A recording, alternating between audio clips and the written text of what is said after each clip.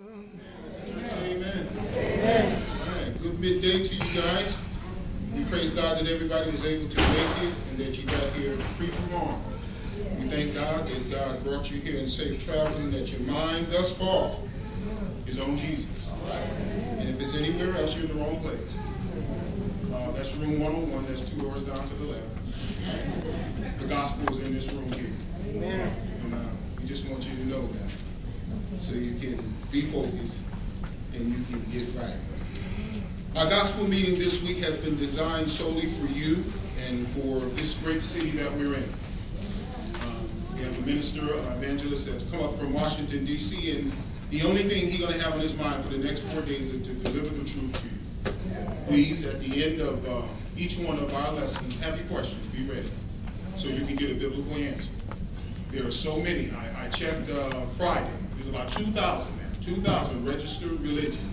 And I'm not counting Judaism, I'm not counting devil worshippers, and I'm not counting Muslims. There's 2,000 registered Christian religions. Now, if there is one faith, one Lord, and one baptism, and one God, somebody got to be wrong. So we want to establish that this week. Now, we did not design this this week to talk about anybody and to make anybody look bad. What we have designed this to do is for you to open the Bible and to see the truth that is going to be proclaimed to you. Now, if you have an issue with Genesis to Revelation, you're going to have an issue with the gospel meeting. Because the gospel meeting is truth. And that's what we're trying to do in this city. Because so many people are saying so many things, and I think we need to establish what truth is. Because truth is going to be one of the books that's going to be open when we stand in judgment day. Okay, so we just want to do that. Brother Freeman is a native of uh, Detroit, Michigan. He's a veteran gospel preacher, having labored in the ministry for 37 years. He received his formal training from the Cameron Avenue uh, School of Preaching in Detroit, Michigan, under the instruction of the late Alex Davenport. He majored in art in high school and at the University of Detroit and Marygrove College in Michigan. He has taught art fundamentals at the Normandy Christian School in Los Angeles, California. He holds a BBA and an MBA in organizational psychology, having graduated summa cum laude from the AIU American Intercontinental University. He serves as the associate minister at the Church of Christ at Cameron Avenue in Detroit, Michigan for five years. He served the, as minister of the Church of Christ in Ridgewood, uh, Toledo, Ohio for five years. He served as the minister of the Church of Christ West Side in Santa Ana, California for 18 years, and as the minister of the Church of Christ Cypress of Cypress, California, having facilitated a merger between the West Side congregation and the Cypress congregation. He uh, currently labors as the minister of the Church of Christ, 13th Street of Washington, D.C. He has proclaimed the gospel on the weekly television broadcast, The Bible is Right, which was aired throughout southern Orange County in California, as well as contributed to a weekly featured article in the Los Angeles Times, Orange County edition, religion section entitled Questions of Faith. He is a mentor and a community leader for the Court Services of Offenders Supervision Agency, which is a federal agency providing supervision of all adults on probation, parole, and supervised release in the District of Columbia. He has conducted gospel meetings, revivals, lectureships, workshops, forums, and the like in some 39 states as well as Nassau, Bahamas. He is the author. He is an author, a graphic designer, and an accomplished artist. He is married to Christine, has two children, a son Matthew, and a daughter Dallas. Please turn with me to 1 Samuel, chapter 16, 1 through 13. That will be our scriptural reading. Our sermon on this midday is You Must Know About Me. And that's going to be taken from 1 Samuel chapter 16 and the first 13 verses. If you do not have a Bible, elbow somebody so you can get one. It is imperative that you read along with this so as he's preaching this to you, you can see it in the Bible. Please do not sit here without your Bible open or your electronic device turned to these scriptures so you can see the Word of God as true. Please. We will stress that every single time we meet so you'll know that we're not reading out of any other source but the gospel itself. Verse 13 verses. And it reads thusly, Now the Lord said to Samuel, How long will you mourn for Saul, seeing I have rejected him from reigning over Israel? Fill your horn with oil and go. I am sending you to Jesse the Bethlehemite, for I have provided myself a king among his sons. And Samuel said, How can I go? If Saul hears it, he will kill me. But the Lord said, Take a heifer with you and say, I have come to sacrifice to the Lord. Then invite Jesse to the sacrifice, and I will show you what you shall do. You shall anoint for me the one I name to you. So Samuel did what the Lord said and went to Bethlehem, and the elders of the town trembled at his coming and said, Do you come peaceably? And he says, Peaceably I have come to sacrifice to the Lord. Sanctify yourselves and come with me to the sacrifice. Then he consecrated Jesse and his sons and invited them to the sacrifice.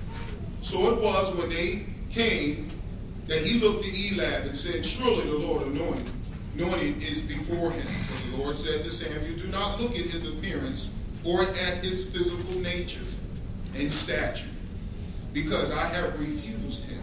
For the Lord does not sees as man sees. For man looks at the outward appearance, but the Lord looks at the heart.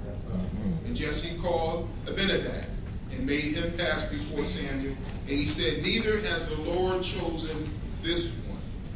Then Jesse made Shammah pass by, and he said, Neither has the Lord chose this one.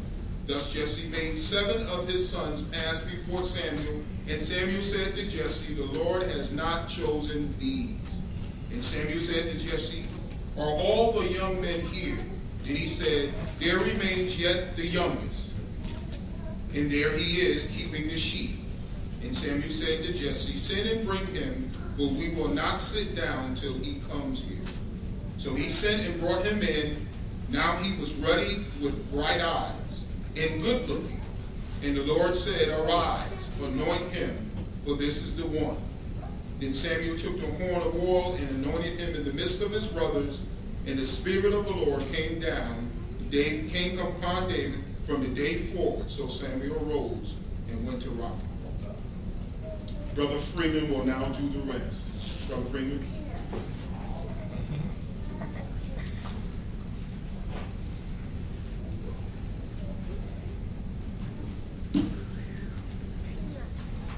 In eager anticipation, we have awaited this day.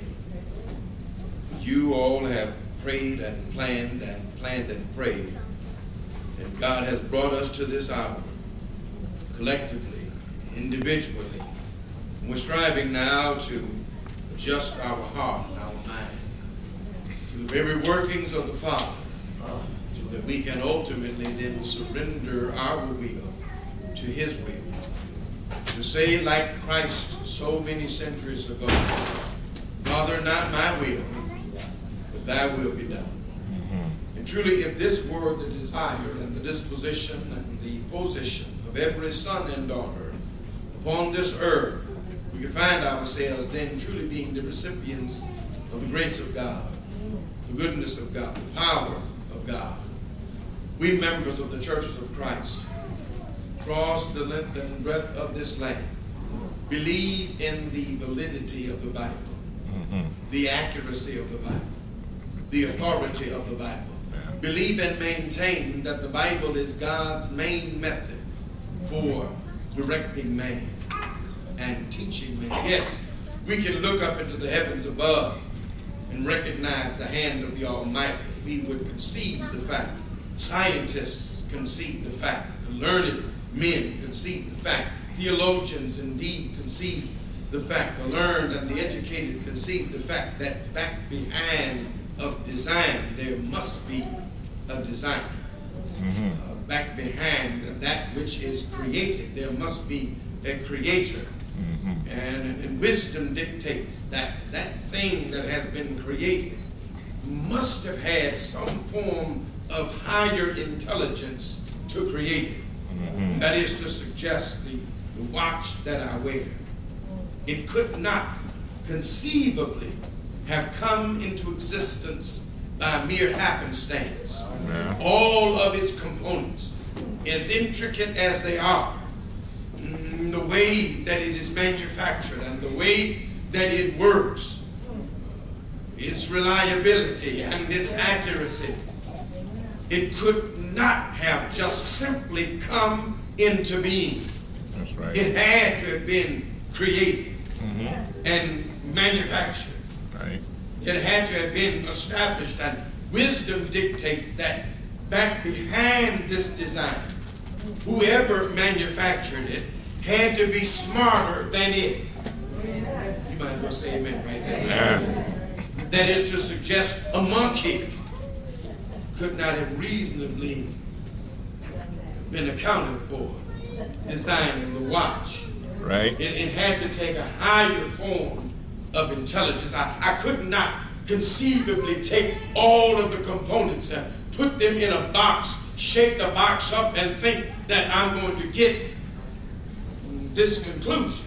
Mm-hmm. No, no, no, there, there had to be someone wise enough to put the components together so that they can work properly.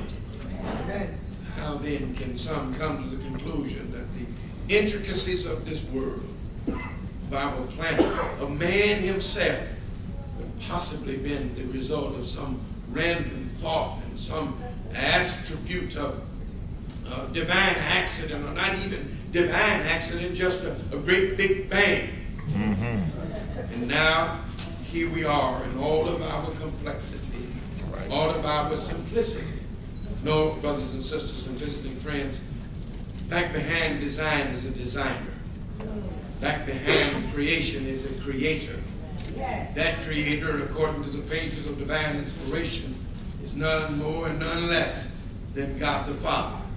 God, by and through his infinite wisdom, has designed all things after the counsel of his own good will and its own purpose. We members of the Church of Christ believe in the accuracy of the Bible. Say it with me then this morning. The Bible is right. The Bible is right. Friends, it will always be right. It is the mind of God that has been revealed to mankind. Brother Stanley stood before us now and he read those verses that we're going to be examining thoroughly, prayerfully this Lord's Day morning. 1 Samuel chapter 16, verses 1 through 13, as we extrapolate from those verses the message and the thoughts that are upon my heart and upon my mind. We're trusting and praying that you read through your Bible as well. We're going to be making constant references back to that illustrative story, and we're striving to make application of that word to our lives. We want to use 1 Samuel 16, verses 1 through 13, and we want to combine that with another passage of Scripture extracted from the New Testament of the Word of God, Acts chapter 13 and verse 22. Acts, the 13th chapter, Yes. and verse 22. Say amen when you're there. Right.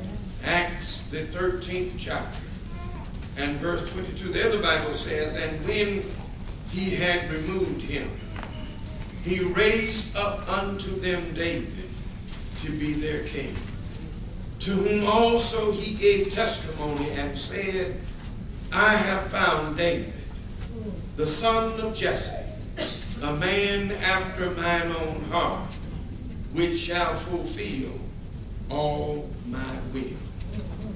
This morning and every morning, God wants every individual to become a person after his own heart. Mm. Some 3,000 years ago, God made choice by his divine wisdom. He made choice of a young man named David Mm-hmm. to be and to become the king of Israel. Out of all the sons of Jesse, and the divine favor of God landed upon a lad who was a simple shepherd boy. David, the youngest son of a poor farmer from the tiny hamlet of Bethlehem. David, a young man who was not even respected by the members of his own family.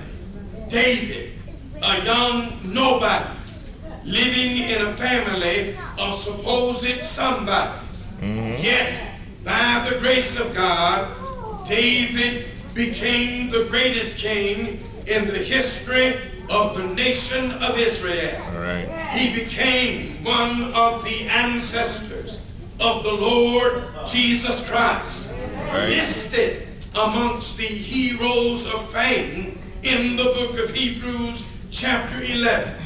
During his lifetime, he received great promises and remarkable blessings from the hand of God. But I would suggest to you that greatest of all of these achievements and greatest of all these accoutrements of his life, he became known as a man after God's own heart. Right. This was not David's testimony. This was not his fellow man's testimony. This is what God said. Mm-hmm. God said, I found David to be a man after mine own heart. Man, that's some kind of testimony. All right. To have God the Father give that as a recommendation. Now, let, let, let's not fool ourselves. David was by no means perfect. In fact, he was far from perfect. Mm. Have you read the story about David? Do you know some of the things that David did? Do you mm. not know that David failed and he failed big time? Yeah. He, he sinned and sinned grievously before God. But you see, he kept short accounts with God. God had him on a short leash when he sinned and when his sins were confronted, when he was made to face his sins, he confessed, repented of that thing, and we know it was genuine repentance because David never repeated that thing. He never made that mistake again ever in his life. I read about it. David sinned, but he didn't commit that particular sin again. So David has so much that he can instruct us, so much that he can teach us about obedience, mm-hmm. teach us about faith, teach us about what it is to worship God, teach us about who it indeed is telling us the truth, and then being able to recognize that truth. So as the Lord leads us just this moment, let's look together at David. And let's give some consideration to a subject suggested from the text that we read. God had rejected Saul from being king and decided he was going to choose another man. He, he, made choice of a man who was very unlikely to be selected. But God, in his wisdom, called his servant by the name of Samuel to go down to the Bethlehem and find a young man whom he was going to select. He gave Samuel limited information. He gave Samuel just enough information to send him on his way. Mm-hmm. And Samuel had to act in faith based upon the revelation that God was giving. Follow me now. Because he only told Samuel so much. Rise, fill your horn with oil, go down to Bethlehem, to the house of Jesse, and there I will tell you what else you're going to do. Uh, Samuel said to the Lord, How can I go to anoint another king? Saul is going to hear about it. He's going to rise up and kill him. You know the way Saul is. He ain't got no sense. God says, ah, take a heifer with you. Take a bullock with you. Take a cow with you. Go down and make a sacrifice. And in doing the sacrifice, I'll tell you what else it is that you're going to do. Samuel makes his way down, and, and the people are afraid. They're, they're afraid of Samuel because Samuel had just laid waste to Agag. He had just uh, killed Agag under the divine directions of God. God is choosing a new king. And God wants Samuel to know. God wants Saul to know. God wants everyone to know. You must not know about me. And that's what I want to talk about this morning. You must not know about me. I want to show you something about how God chooses and the method by which God chooses. I alluded to just now. This, this chapter, it opens up, it begins by God reminding Samuel of the fact that he's rejected Saul from being king. Samuel is broken hearted. He's been crying all night long. God comes to him and said, How long are you going to mourn for Saul? Seeing that I've rejected him from leading my people. Yes, we he was chosen. Yes, he became the first king of the people of Israel. And the Israel wanted a king because they wanted to be like all the other nations that were around them. And Samuel was brokenhearted about that. Samuel cried before God concerning that. Back in 1 Samuel chapter 8, verses 1 through 5, God had to tell Samuel, then get up. Yeah. Quit crying. People have not rejected you, they're rejecting me. I warned them about getting a king. I warned them what was going to happen. But you know that my people is a stiff-necked people. Up to that point, God had been ruling the nation. God had been raising up leaders as they were needed. That's how things have been operating from the time of Moses down to the time of the judges. They've been warned over and over again about the dangers of elevating a man to the throne. It would bring about political corruption and it would bring about great trouble so that when Saul was finally chosen to be king, the people were absolutely elated. They were elated because Saul was a fine specimen of a man. He stood, you remember what the Bible says, head and shoulders above everybody in Israel. He looked like a king. Now, whereas Saul may have been a giant among men, he was a spiritual pygmy. Mm.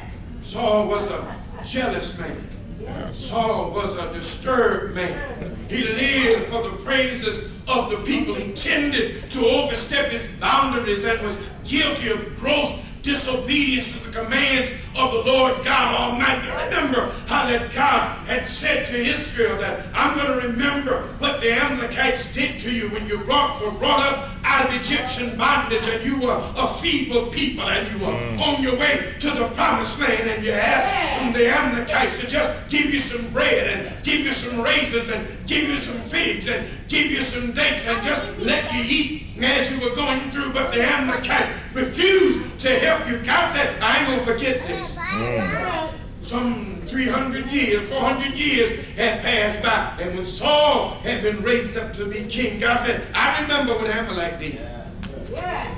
I remember how they didn't help. Now rise up, take your army, go down and utterly destroy the Amalekites. Amen. From the king on the throne to the peasant in the field. Kill everything and everybody. Don't spare a thing. Saul heard that. Went down there. Spared Agag the king. Spared the best of the sheep. Spared the best of the oxen. Am I right about it? Right. Did all of that. Came back when Samuel came in. Saul saw him. Agag is sitting there. Samuel walks in. Saul said, Blessed be the Lord. I've kept the commandments of the Lord. And Samuel said, in effect, Well, you must not know about me. Amen, somebody. If, that's the case, if you kept the commandments of the Lord, what's the lowing of the oxen and the bleating of the sheep that I hear? What's Agag doing sitting up there beside you? If you've done what God said you must be doing, Saul said, Well, you know who the people are. I, I spared Agag the king, yes, and I spared uh, the oxen and, and the sheep because I, I wanted to make a, a sacrifice to the Lord. Stanley, that's why a lot of folk will tell you in a heartbeat, well, see, I'm playing that loud so that I can oh, oh, oh. I have a little bit more to give, give to God. Yeah, that, that's why I'm doing that. Samuel had to say, Have the Lord a delight in sacrifices and offerings? Behold, rebellion and stubbornness is as the sin of witchcraft. Because you have rejected God's word, God has rejected you. God has rejected you from being king. Samuel turned to walk away. Saul doesn't want to let go. He doesn't want to let go of the kingdom. He reaches out, grab hold of Samuel's garment. Samuel is still walking away. Saul is still pulling. While Saul is pulling, Samuel's still walking. As he walks, his garment rips. Yes. No, you, you, you, you can't do too much to a preacher without him finding a lesson in it. So Samuel turned around and got a lesson from that. He looked back and said, But as you rip my garment this day, as you tore my garment, God has ripped the kingdom from you. God has told you must not know about me. Yes. God can take all to God in effect says to Saul, you got me twisted. You must not know about me. I can have another king in a minute. Matter of fact, he'll be here in a minute. To the left, to the left, everything you own in a box. To the left, you must not know about me. I can have another you by tomorrow. Don't you ever get to think? Yes. You're irreplaceable. Help me somebody. Mm-hmm. When God chose David, he was choosing an unlikely candidate to such a lofty a powerful office. In God's choice of David as king, we're allowed to see something of the process that God uses when he chooses. Yes. There is a process that God uses when he chooses. God's choices are sovereign choices. He made a sovereign choice. See, it's against the backdrop of rebellion. It's against the backdrop of rejection and disobedience that God begins the process of choosing a new king to reign over Israel. He's ready to raise up a new king. He's ready, in fact, to raise up a new king when he puts the first king in there. Mm. He puts the first king in there just so that he can demonstrate what kind of king they really need. God had made a choice. God was working behind the scenes during those difficult days in Israel's history to pave the way to fulfill his divine promise. Yes, his choices are sovereign in their planning. See, Samuel is told where to go to find the new king, and it appears that the Lord has been arranging everything to bring this new king into the world at precisely the right moment in history. Right. If you look back at the ancestry of King David, you'll find the hand of God moving and shaping the events and circumstances of his life even before he got here. One of David's ancestors was a woman by the name of Rahab. You remember Rahab in Judges chapter 2? She'd been saved out of pagan idolatry, brought into the nation of Israel. She married a man by the name of Salmon. Salmon, according to Matthew chapter 1 and verse number 5, they became the parents of a man named Boaz. In Ruth chapter 4, and verse number 20, Ruth was a woman taken out of paganism. Ruth was a Moabite. I'm going to talk more about that during the course of the week. Boaz married this Gentile girl, this Moabite by the name of Ruth. Ruth and Boaz had a son by the name of Obed. Obed had a son by the name of Jesse. Jesse had a boy by the name of David. See, these events were not accidental. God is saying in circumstance, you must not know about me. You, you don't know how I can work a plan. You don't know how I can formulate something in eternity past and working out in your present. These things were not a coincidence. It's the mighty hand of God. Yeah. God's choices are sovereign in their power, not just in their planning and in their preparation, but they're sovereign in their power. Did you see in our text that Brother Stanley read? Did you see in verse uh, uh, verse number one where he notice the words in the text? I have, I have. In that verse it says, I have rejected him and I have provided me. How long are you going to mourn for Saul? I have rejected him. I have uh, provided me. Many people have great plans. They got big dreams but they don't have the power to bring it to pass. Not so with the Lord. The Lord says, I have. And when the Lord proposes, he can dispose. Now, what lessons can we learn from the sovereign choice of God? I think that there are several here. First, that there are no accidents in life. Not one. Everything. Everything in life. If Yes, even your life is part of a larger plan. God is working oftentimes behind the scenes in ways that sometimes we cannot comprehend to accomplish his plan, accomplish his purposes. We believe and maintain Romans chapter 8 and verse number 28. I know it's the most difficult passage in all the Bible to believe. I know we struggle with Romans 8 and verse number 28. I know that the child of God wrangles with that passage, but the Bible says we know that all things work together for good to them that love God, those that are called according to his purpose. Paul didn't say we guess. He didn't say we hope. He didn't say we speculate. He didn't say we, we, we're trying. He said we know. Yes. We know that this thing is going to work out together for good. Isaiah 55, verses 8 and 9. My thoughts I'm not your thoughts. My ways are not your ways. As high as the heavens are above the earth, so are my ways and my thoughts above yours. Do you know what your Bible says? Psalms 37 and verse number 23. The steps of a good man are ordered by the Lord. Don't you realize that when you strive to be good before God, do that which is right by it, and there's only one way to do good and be good, and that's to be in Christ Jesus. Amen. So when the Bible says the steps of a good man, a good man is going to only be defined by a Christian man. A Christian man, thank God for the truth that God is in absolute control of our lives. God is well able to bring his plans to pass. He will never propose a plan that he's not able to accomplish. We're talking about the sovereign will of God. Whether it's a plan to raise up a little shepherd boy and make him king, whether it's a plan to raise you up and work, yes, even in your life, God is able to see it through. The fact is, you got to trust him. Don't you dare sell God short. You must not know about me. I can raise you up well past your current situation. It don't matter what's going on with you. If you can learn to trust God. Somebody said, well, brother preacher, I don't think I'm ever going to really amount to nothing. I, I, I, I, I, can't uh, learn. I'm not learning fast enough. I can't retain these things. Don't you realize that the only thing that is designed to defeat you is you? Amen. You tell yourself you can't do it, but then you, you've already defeated yourself. But see, the child of God, the child of God maintains, I can through Christ. I can through Christ. I can do all things through Christ.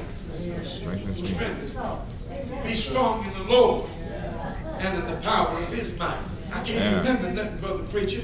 You, you remember what you want to remember. Now, I'm not talking about if we've got a disease. I'm not talking about if there's some kind of chemical imbalance. I'm not talking about that attribute. It's because a lot of people would defeat themselves beyond just physical limitations. And even with physical limitations, there are things that are designed to help you even get past that. You got to learn how to trust in the Lord God Almighty. Learn to put your faith and your reliance upon Him and have that confidence in the abilities and strengths that God has given to you. And God has dealt out to every man a measure of faith talking primarily right now to the child of God. I don't presume to understand it all, but I believe the Bible teaches that God is in the business of working things out.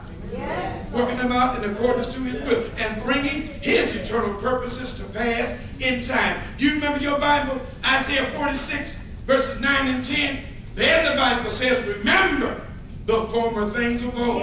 For I am the Lord, and there is none else. I am God, and there's none like me, declaring the end from the beginning and from the ancient times, the things that are not yet done, saying, My counsel shall stand. And I shall do all my pleasure. It's only God that's able to declare the end from the beginning. We can't see it like God. We don't understand it like God. But here's what we can do. We can trust God. We can trust the fact that God knows what he's doing. And all I got to do is put my hand in his hand and everything is going to be all right. Some Right. folk are bothered by the notion that God is in absolute control of life. I, however, find it comforting knowing that nothing can happen to me unless the Father ordains it. And if the Father ordains it, then it's for my good and to his glory. Yes, even if I perceive it as difficult, even if I perceive it as hard, even if I perceive it as something that if I'd have had a choice, I wouldn't have did it that way. If I would have had to say so, I wouldn't have gone that particular route. But I trust God, you see. And because I trust God, I know that everything is going to be all right. You must not know about me. Right. That, that's what God said. You, you must not know about me. You must not know how I can do stuff. You must not know how I can work things out. God's choices, they're also surprising. See, this text is a mind blower. It's a, it, it, it blew Samuel's mind. It showed enough blew Saul's mind. That's why he couldn't tell he couldn't tell it. Samuel is set off to Bethlehem to anoint a new king. And when he arrives there, he commands Jesse, I love this part, to gather together all his sons. They come before the old prophet and pass before him one by one. And it's in that process that God makes known his choice to be king. But he chooses his choices while they're sovereign, they also carry with it some big surprises. It's surprising in what God will reject. Amen. How do you know when you're hearing truth? Mm. It's surprising what God will do. It really is. Would, would you be surprised to know this morning that uh, one faith is not as good as another faith? Would you be surprised to realize this morning that one approach to God may not be, that, that there is an avenue whereby we must approach God, whereby we must then serve God, whereby we must honor God. See, God's choices are surprising in what it is that God Himself will reject. The first of Jesse's sons passed before Samuel. His name is Eliab. The name means God is Father. He is a fine specimen of a man. And Samuel, when he sees him, thinks that he's the cho- chosen one. Samuel sees him and says, Surely the Lord's anointed is before me. But God says, You must not know about me. I have refused him. The word refuse simply means I rejected him. Now, Eliab may have looked pleasing outwardly, but something in his character disqualified him from being king. Yes. Uh-huh. Abinadab is next. His name means my father is noble, but he too is passed over and rejected by the Lord. Shammah is next. His name means astonishment. It, it- it might refer to his size. It, it might refer to his stature. It might refer to his physical appearance, but he too is passed over Yes. One after another of Jesse's sons passed before Samuel. And Samuel is told by God, and Samuel conveys to Jesse, neither has God chosen these. Do you not know that denominationalism is passed over by God? See, it may outwardly seem right. It may appear right. But see, God does not judge by the appearance. No, no. Amen. God says, I have refused this. God says, I have rejected this. Why? It's a matter of heart. It's a matter of doctrine. It's a matter of, see, what makes the church of Christ the right church? Yeah. What, what, what makes it the Bible church? As opposed to denominationalism. And what makes denominationalism wrong? They're good people. Yes. Honest people. Mm-hmm. Upright people. Fair-minded people. What, what, what makes them wrong? What, what is it that fixed Eliab? That he could not reign as king. See, now we're talking about a matter of the heart. Matter of heart. What's at the core of this thing? What's wrong with denominationalism? What's wrong with Baptist and Lutheran, Presbyterian, Episcopalian? What's wrong with Catholicism? We're talking about the heart. Mm-hmm. What's at the heart of it? Now, at the heart of it is a doctrine and a philosophy, a teaching that cannot be substantiated. It can't be backed up with thus saith the Lord. All during the balance of this week, the Lord give us strength to get down through Wednesday. We're going to do what Jesus did. Yes. Jesus went to the synagogue, opened the book, and found the place Yes. where it is written. That's the problem with our denominational friends. Their doctrine, their teaching, they're not able to open the book and find the place where it's written. That's right. As a result thereof, it becomes a problem with the heart. What's at the core? What's at the essence of that thing? Now, Baptist people are good people. Lutheran people are good people. Muslims, good people. Amen, somebody. Right. Catholics, good people. The problem is a problem of the heart. Mm-hmm. Let's open the book and find the place where it's written. Right. See, if I can open up the book and find a place that one church is just as good as another, then we'd be all right. Right. It wouldn't matter. But see, I can't open up the book and find that because it's not there. I can't open up the book and find a Baptist in the Bible. Right. It's not there. I can't open up the book and find a Lutheran in the Bible. It's not there. So they say, Freeman, you should be calling folk names. I'm not calling your name. I'm calling what you call yourself. Amen. Amen. I'm calling you what you call yourself. I'm just asking you, open the book And let's find a place mm-hmm. where it is written. Let, let, us find it. If we can, then we don't have a problem. See, if you can open up the book and find a place where I can have communion once a month, then we're fine. And we can just keep on doing it just like that. The problem is, I can't open the book and find Right. because it's not there. Right. So if I'm holding on to that as doctrine, then it's a problem of the heart. Yeah. Yes, Eliab was standing there. He looked like a king. He had the appearance of a king. Samuel saw him and said, Surely I ain't got to look no further. The Lord's anointed is before me. And God said, You must not know about me. Right. Don't look at his heart. Don't look at Shammah. Don't, don't look at his stature. Don't look at Shammah's stature. Don't look at Abinadab's stature. Any one of these men were fine specimens. Any one of them would have had the physical requirements to turn heads and rule as king. And when we look at our Baptist friends and our Lutheran friends and our Jehovah Witness friends, they have zeal and determination and a desire to serve God. Our Baptist friends will be in church all day. Yes. All day. Won't get mad.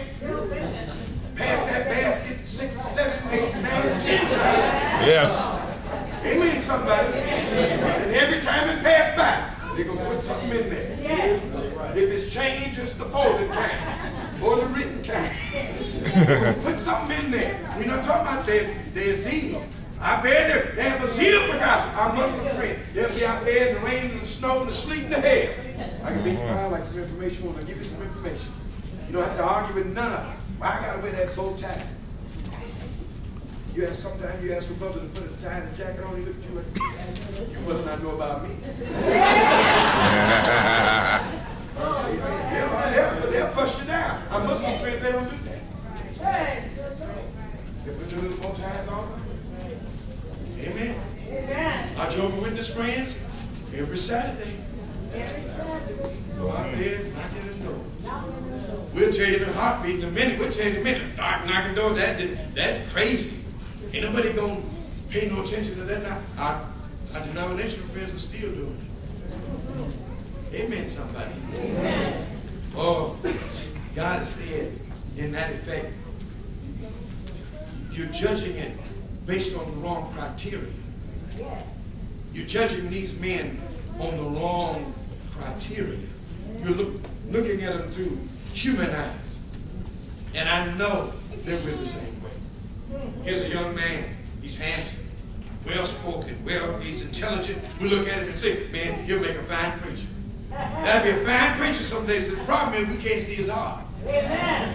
We can't see his heart. We see a young man, he's saved, good to his family, got some good business sense, he's savvy out there in the business world. Look at him and say, oh, he make a good elder. He make a good deacon. The problem is we can't see his heart. We don't know what's in his heart. We judge people how they strike the eye. God sees them on a different level. We judge things, our churches and congregations based upon the act. God is looking at a different matter. He's talking about the doctrine now, the teaching now. That person we think who would do great things in the church may not even be a blip on the radar screen of God's great wisdom. While that one we think may amount to nothing, we think may not be able to accomplish anything, might well be used mightily in the hand of God. You see, God makes his choice based on not what he sees on the outward characteristics, but rather the content of our heart. God said, You must not know about me. Right. The way I deal with things, his choices are surprising in their requirements. See, before Saul was ever ceased to be king, God had already determined to raise up another man who was after his own heart. You see, some folk are fired and they don't even know they're fired. Mm-hmm. Amen, somebody. Yeah. And that's a lesson that we can learn today in the church. We look for leaders. We often look for those who possess certain characteristics that we think will spell success and ability. We look for people of power, look for people of influence, look for people of intelligence, look for people of means. God, however, looks for people of integrity of character.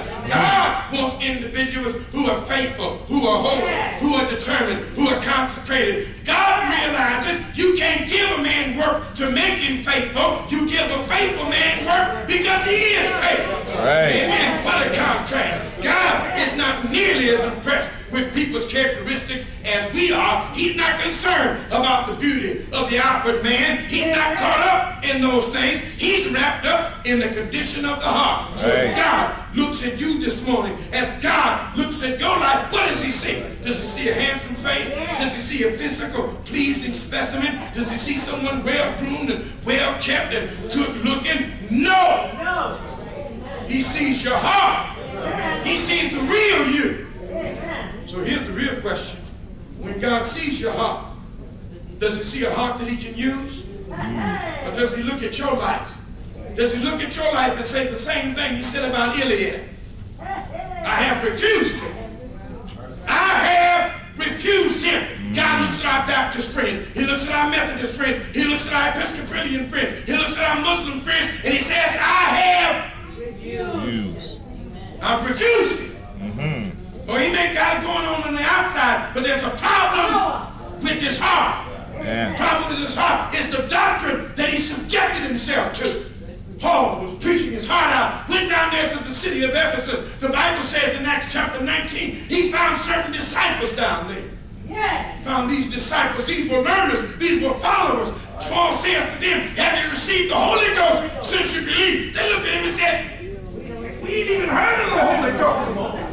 What you talking about the Holy Ghost? Paul was unto what then? Have you been baptized? What have you subjected yourself to? You ain't never heard of the Holy Ghost. You talk to some people today. They're religious. They're praying, godly, they're striving to be godly. Sit down with people in restaurants and I see somebody over there praying, and I always make a comment. Always, whenever I see that, I, I tell them, I stop there. It's good to see somebody praying to God Amen. behind their food. Where, where do you happen to go to church? And they tell me something about some do by Diddyville somewhere. and I try right then to bring them to a greater understanding about what God said. Because see, it's, it's a hurtful thing to see somebody striving to be religious, but in error. Yes. Amen. They're in error. Praying. God ain't here. God looking at it. I refuse. Yeah. I'm gonna tell you something, I'm gonna prove that to you by the word of God. Uh, Ellis, bring, bring me that chart up here in a little bit. I'm gonna wrap this thing up, and I need that. I need that chart.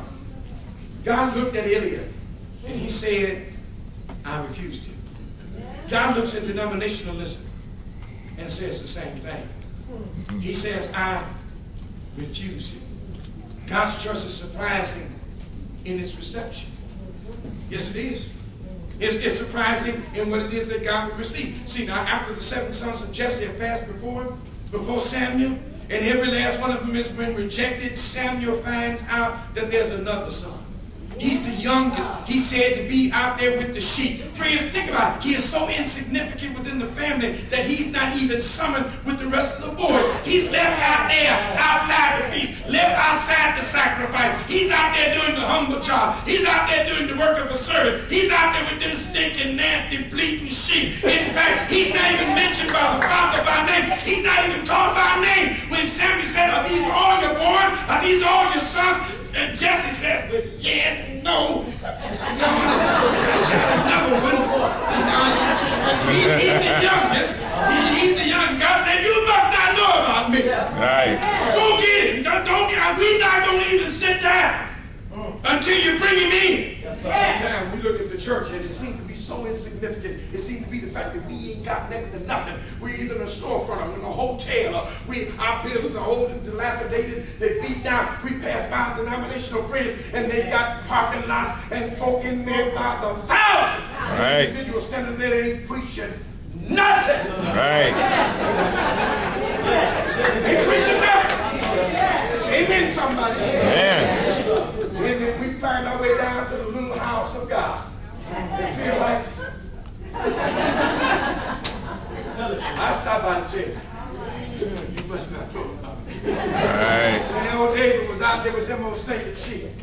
David was out there. They didn't even invite me. Didn't even call him by name. He didn't know nothing about what was going on. God said, go get him. And when he walks in, Samuel sees a handsome young man, bright-eyed, with the blush of youth in his cheeks. God tells Samuel, get up! That's the one. That's the one. Get your horn.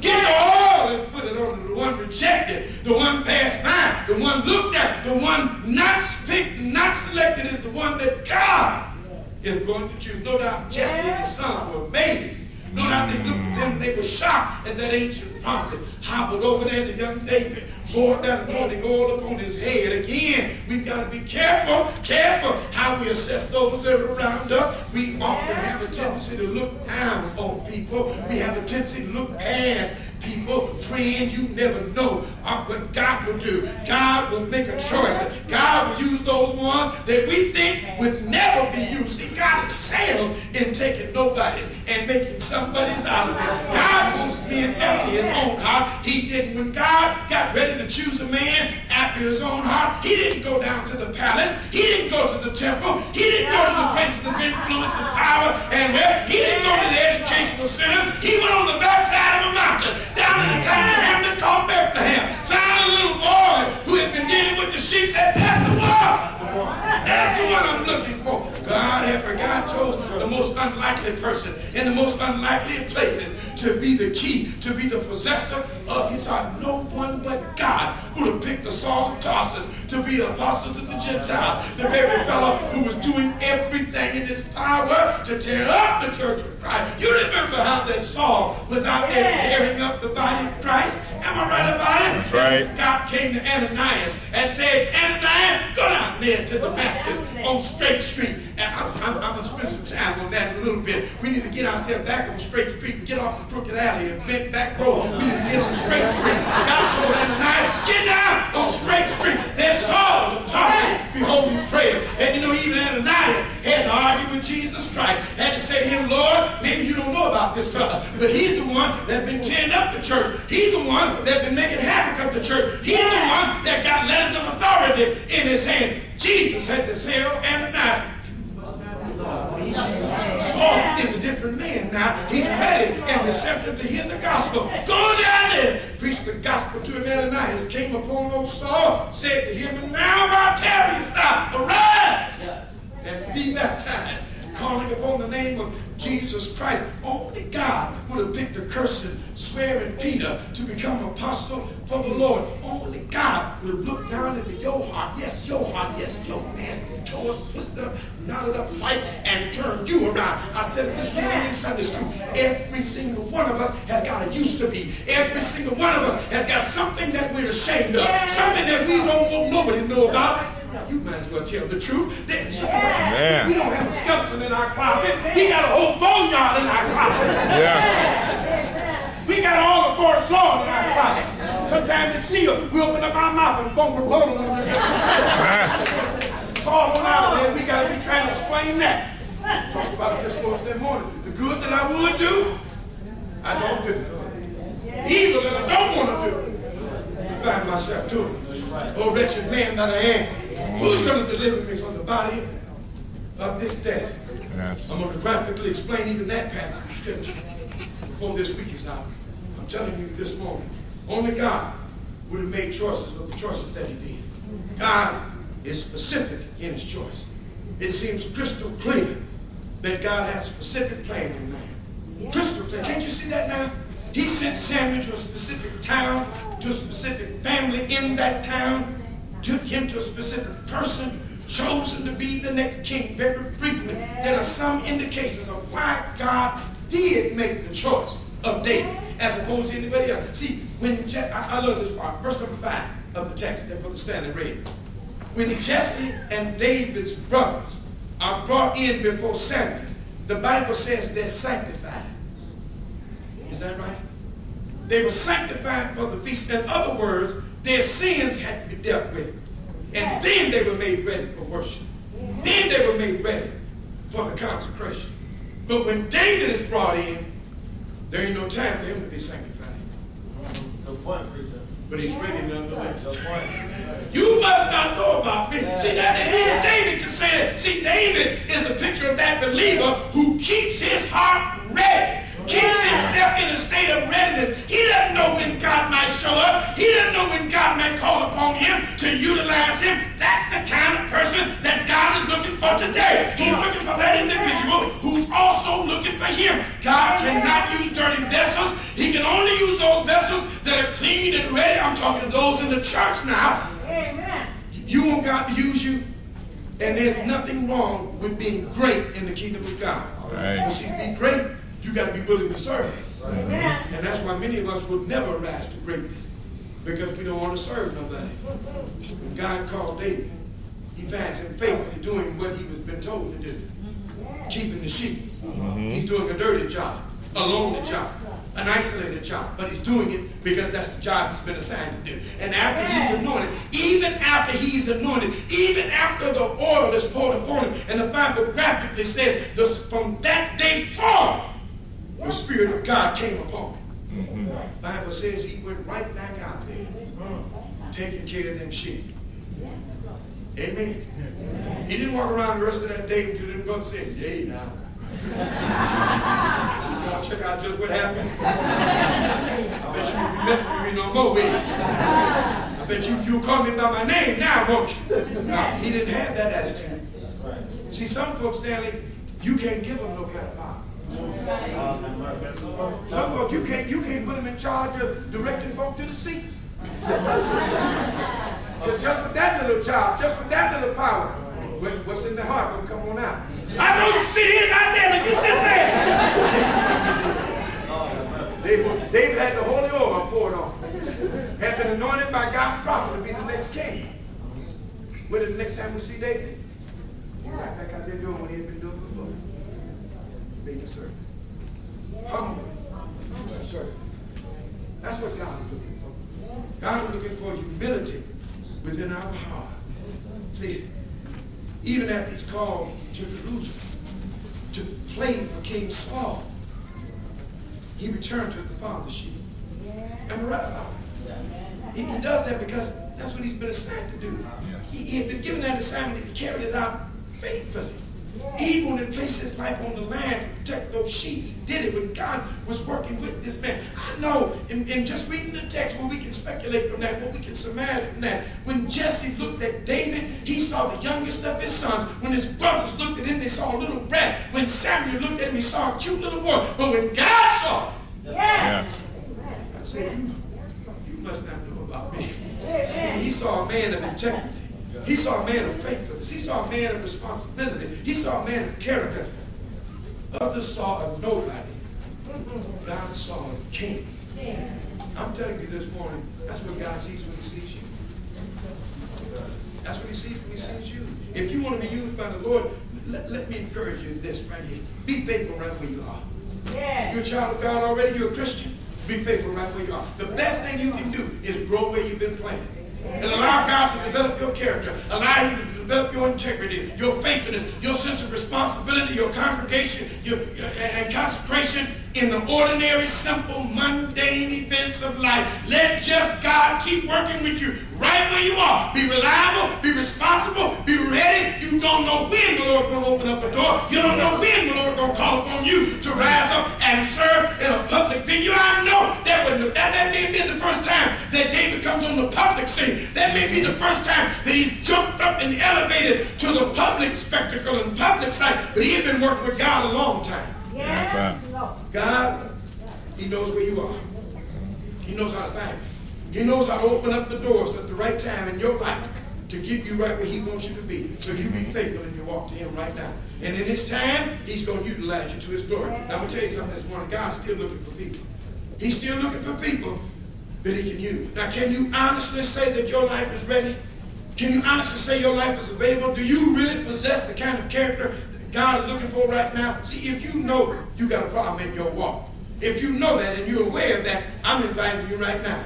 I'm inviting you right now to get that thing corrected. I, I, I invite you to confess your sins. I invite you to confess Christ. I invite you to put him on in baptism, to become a member of the church of Christ. That's the church that mm-hmm. Jesus Christ is married to. It's the one Jesus Christ died for. It's the one that indeed is his bride. He is the one that he is the king over. He is the head of. And friends, this morning and every morning, the Lord Jesus Christ only has one bride. To suggest that Jesus has more than one bride is to suggest he's committing spiritual adultery. And I'm not going to let you say that to Jesus without a fight on your hand. Because the Bible testifies to the fact that Christ is married to the church. Amen. And he only Yes. has one. Right. You Only has one. You need to become a member of that. See, if you desire to be utilized by the Lord, I invite you to come to Him. I invite you to renew your commitment to Him and your consecrated endeavor to the Lord Jesus Christ Almighty. See, His needs can become your needs and your desires. God, see, God is able to fix all things under the counsel of His own good word. Now, I'm, I'm, I'm going to wonder this morning if you're ready. See, if you're ready to deal with God, then God is ready to deal with you. If you're ready to commit your life to Him, He's ready to commit Himself to you because He's already done it through the sending of His Son. Yes. Son sacrificed His life. Am I right about it? Yes. To make it possible that you and I can have a right to the tree of life. First John chapter 5 and verse number 7. First John chapter 5 and verse number 7. I, I, I'm wondering this morning, are you ready? Yes. Are you ready for those three that bear record in heaven? Amen, somebody. Yeah. There are three that bear record in heaven, and that three that bear record in heaven, they are one. Amen. They are one. The three that are one. Not three in one, but three that are one. And the Bible talks about the three that are one. It says that we're dealing with the Father, the Word, and the Holy Ghost. And the Holy Ghost. Am I right about it? And the Bible says these three are one. Then the Bible says in that very next verse, if you're ready, it talks about the Spirit, the water, and the blood. And these three agree in one. Am I right about it? See, if you're ready for the Father, the Word, and the Holy Ghost, these three are one. And then the Bible says the Spirit, the water, and the blood. And these three agree in one. Now, if you're ready for that, then you're ready for the facts of the gospel. That's the death, the burial, and the resurrection. Uh-huh. Am I right about it? Right. See, Jesus died, he was buried, and he rose again. Right. And that's the facts of the gospel. That's It, right. it fixes it so that we can understand the Father, the Word, and the Holy Ghost. In conjunction with the Spirit, the water, and the blood. Uh-huh. Giving us the understanding about the death, burial, and the resurrection. Man. See, when we're there, I, I'm asking now, are you ready? See, if you're ready, then you can understand what he means by in 1 Corinthians 13. When he talks about those three that are the abiding three. Am I right about it? Mm-hmm. Faith, hope, and charity. Am I right about it? That, that, that this abiding three. not by faith, hope, and charity, but the greatest of these is charity. That, that's if you're ready. See, if you're ready then, then we're ready for the one Lord,